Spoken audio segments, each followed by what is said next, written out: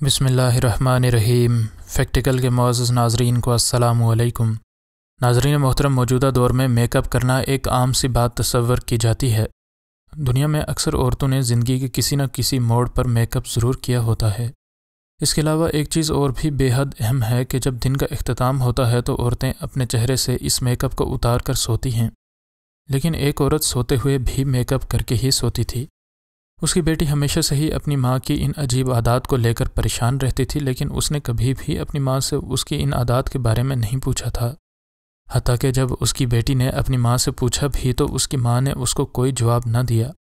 اس لڑکی کو پکا شک ہو چکا تھا کہ یقیناً میری ماں کے ماضی میں کچھ ایسا ضرور ہے جو کہ وہ مجھ سے چھپاتی ہیں۔ اس وجہ سے اس نے اس بات کی خود سے ہی تحقیق کرنا شروع کر دی۔ اور اسے جو معلوم ہوا، اس نے اس کی زندگی مکمل طور پر بدل کر رکھ دی۔ گیل لکاسک کے لیے اس کی ماں ایلویرا ریٹا ہمیشہ سے ہی مشل راہ تھی۔ اس کی ماں بہت خوبصورت تھی اور اس کی اور اس کے باپ ہیرلڈ کی شادی دوسری جنگ عظیم کے اختتام کے بعد ہوئی۔ ہیرلڈ دوسرے کئی لوگوں کی طرح ہمیشہ سے ہی یہ سوچتا تھا کہ وہ اپنی بیوی کو بہت ہی اچھی طرح جانتا ہے۔ لیکن جب حقیقت کھل کر سامنے آئی تو اس کو اندازہ ہوا کہ وہ بالکل غلط تھا، کیونکہ اس کی بیوی نہ صرف اس سے بلکہ اپنے پورے خاندان سے یہ راز چھپائے ہوئے تھی۔ ان کو ایک بیٹی ہوئی جس کا نام ان نے گیل رکھا جو کہ اپنے والدین کی محبت اور توجہ میں پلی بڑھی۔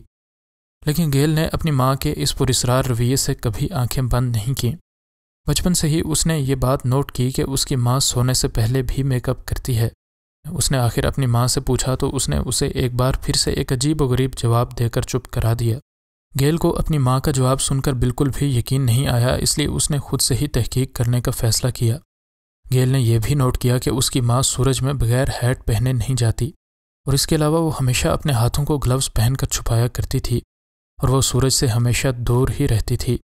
گیل اپنی ماں سے اپنے نانا نانی کے بارے میں بھی پوچھتی تھی، لیکن اس کی ماں نے اسے اپنے والد کا نام ایزمر فریڈرک کے علاوہ کبھی بھی کچھ نہ بتایا۔ کچھ سالوں کے بعد آخر اس نے سارے سوالات کے جوابات خود سے ڈھونڈنے کی ہمت کر ہی لی۔ اس نے بہت کوشش کی، لیکن اسے اپنے نانا کے بارے میں کچھ بھی معلوم نہیں ہو رہا تھا۔ آخر اس نے سن انیس سو کی اپنے علاقے کی مردم شماری کا ریکارڈ نکالا اور پھر اسے اس لمبے لسٹ میں ہی ایزمن فریڈرک نام آخر مل ہی گیا۔ اس کالم میں اس نام کے کئی لوگ تھے، اس لیے اس نے ان کے ساتھ موجود تفصیل کو بھی پڑھنا شروع کر دیا۔ اس کالم میں موجود تمام خانوں کے ساتھ لفظ بی لکھا ہوا تھا۔ اس کو نہیں پتا تھا کہ اس لفظ بی کا کیا مطلب ہے۔ اس وجہ سے اس نے اس کے مطلب کی تفصیل ڈھونڈنا شروع کر دی۔ سرکاری لوگوں سے پوچھنے پر اسے پتہ چلا کہ اس لفظ کا مطلب یہ ہے کہ یہ شخص ایک افریقی شخص یعنی بلیک تھا۔ اس نے آخر سرکاری لوگوں سے مل ملا کر اپنی ماں کا برتھ سرٹیفکیٹ بھی نکلوا لیا۔ جب اس نے اپنی ماں کا برتھ سرٹیفکیٹ دیکھا تو اسے اپنی ہی آنکھوں پر یقین نہیں آیا۔ اس کی ماں کے نام کے آگے لفظ سی او ایل لکھا تھا۔ اس کو نہیں پتا تھا کہ ان الفاظ کا کیا مطلب ہے، اس لیے اس نے سرکاری لوگوں سے ایک بار پھر سے پتہ کروایا تو اسے پتہ چلا کہ اس کا مطلب ہے کہ اس کی ماں کلرڈ یعنی افریقی ہے۔ یہ بات سن کر اس کی حیرت کی انتہا نہ رہی۔ اسے نہیں پتا تھا کہ اس کی ماں کو بھی یہ پتا ہے کہ اس کے برتھ سرٹیفکیٹ پر یہ بات لکھی ہے۔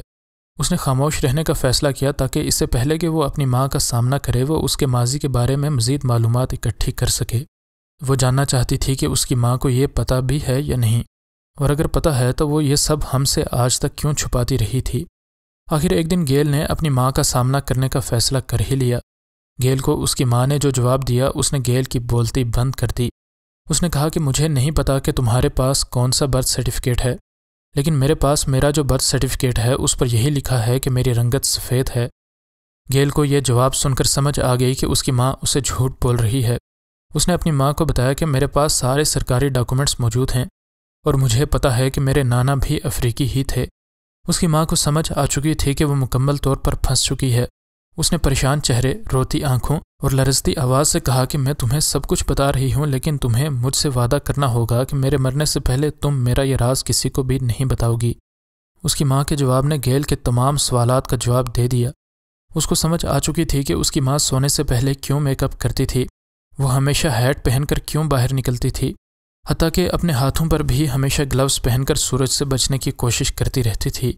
اس کی ماں نے بتایا کہ مجھے پتا تھا کہ میرا شوہر مجھ سے شادی کرنے کے لیے بالکل بھی راضی نہیں ہوگا، اگر اسے یہ پتہ چل جائے کہ میں افریقی نسل سے تعلق رکھتی ہوں۔ اس لیے میں نے اسے شادی کرنے کے لیے اپنے والدین کو بھی چھوڑ دیا اور اسے ان کے بارے میں کبھی پتہ نہیں چلنے دیا۔ اس دور میں یہاں موجود لوگ افریقیوں سے بہت زیادہ نفرت کرتے تھے اور ایسے ہی خیالات اس کے والد کے بھی تھے۔ اس لیے اس کی ماں نے اس کو کھونے کے ڈر سے اس راز کو ہمیشہ کے لیے اپنے سینے میں دفن کر دیا۔ اور میک اپ اور دیگر ٹریٹمنٹس کے ذریعے اپنی رنگت ہمیشہ کے لیے وائٹ کروا لی۔ الویرا پر اس کی بیٹی گیل نے ایک کتاب اس کی موت کے بعد وائٹ لائک ہر کے نام سے دو ہزار سترہ میں لکھی ہے، جسے ناظرین بھی پڑھ سکتے ہیں۔ مزید نئی ویڈیوز کے لیے ہمارے چینل کو سبسکرائب کر لیں۔ انشاءاللہ ملتے ہیں اگلی ویڈیو میں۔ فی امان اللہ۔